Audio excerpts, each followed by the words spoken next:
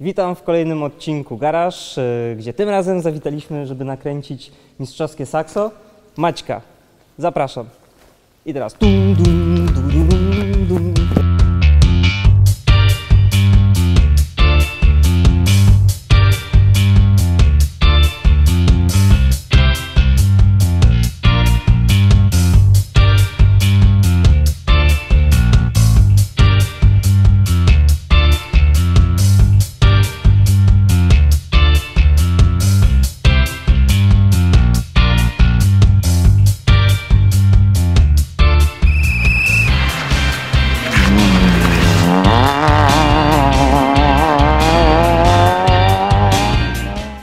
Cześć Maciek.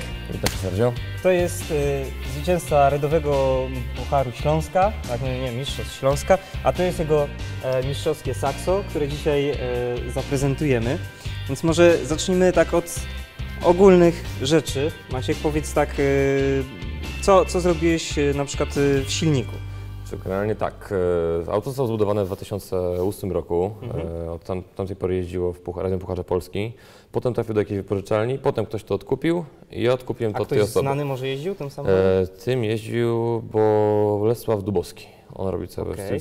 kwity, robił na tym samochodzie. E, Potem ja to odkupiłem i szczerze trochę je odtroliłem, było mocno zapuszczone, ale Mhm. z silniku nie robiłem do tej pory nic. Silnik jest sery- zdrową serią, o, pomachamy chyba. O.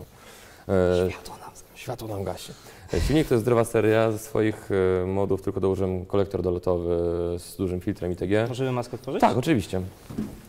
E, Układ wydechowy, kolektor wydechowy jest seryjny, e, z tym, że tam gdzieś na, na końcu się pozmieniało trochę, bo dołożyłem większy układ wydechowy i na końcu katalizator. Tak, to jest tu zdrowa seria, Mhm. jedzie. Okej, i tylko musiałeś go dobrze wystroić, tak? Wiesz co, ja nie robiłem w tym samochodzie nic, żadnych modów. Jedyne co, że powiem, zrobiłem, to go umyłem i Troszeczkę wsadziłem- ci odpadły już. No właśnie zauważam, że wylata, ale to jakaś świe, świeża usterka, powiem szczerze, to będziemy musieli skorygować. No, No, lusterka to no, nie, może no, nie jest, ale no coś wylata, no Co- ale to, coś lata. Mówię, na razie sprzęt jest nieużywany, odpoczywa po sezonie na Śląsku.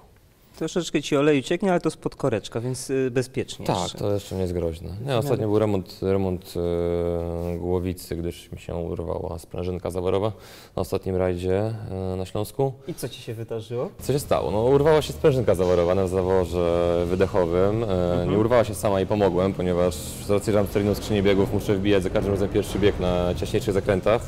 No wbiłem go troszeczkę za wcześnie, no, auto się dokręciło do odcięcia, sprężynka nie wytrzymała.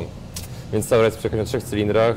No szkoda, bo mógł być fajny wynik, no ale no, mieliśmy tego, tego, tyle dużą przewagę w mistrzostwach, tu twierdziliśmy, że dojedziemy, dowieziemy te punkty, no ale satysfakcji z jazdy nie było na ostatnim imprezie. No tak, i właśnie, e, a propos, a propos tego, to y, spowodowane to było właśnie, że musisz redukować do pierwszego biegu, czyli masz dosyć długą skrzynię. Tak, mam seryjną 1359, bez O, szpery. seryjną to tam. Znaczy seryjną, no. Mam skrzynię 1359, yy, no jest trochę, przydługa, też nie mam tutaj szpery, także no, są, to są plany na przyszły sezon, dołożyć krótką skrzynię ze szperą.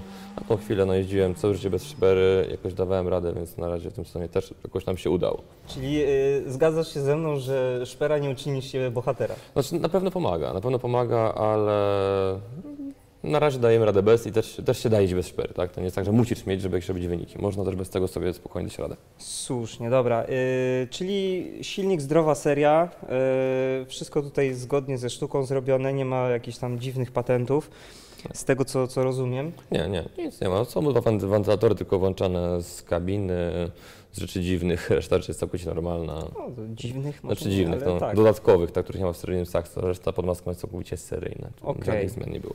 Zawieszenie? Zawieszenie jest chyba najmocniejszą stroną tego samochodu, e, chociaż niby dalej jest to tylko seryjny, znaczy seryjny, jest Zaraz dalej Bilstein. Zobaczmy. Stoi sztywno, ale pewnie dobrze pracuje przy większych Tak, tak, prędkościach. tak. E, Mądre zawieszenie Bilsteina na grubych szlagach, z przodu nagwintowanej kolumny na małej sprężynie, dosyć długa sprężyna tego auta, bo 250. A jaka sprężyna? 250 długości, 50 twardości, bardzo fajnie się zawieszenie zachowuje. E, W tych samochodach podstawowym problemem jest to, że zawsze tył jest szybszy od przodu i trzeba mieć szybkie ręce. Na szczęście w tym skońcu zostało to wyeliminowane. Zawieszenie jest świetnie ustawione przez Zerkopol. Naprawdę fantastycznie wybiera. Przez cały sezon nie miałem problemu z tym, żeby ten tył mi skakał, gdzieś podbijało go.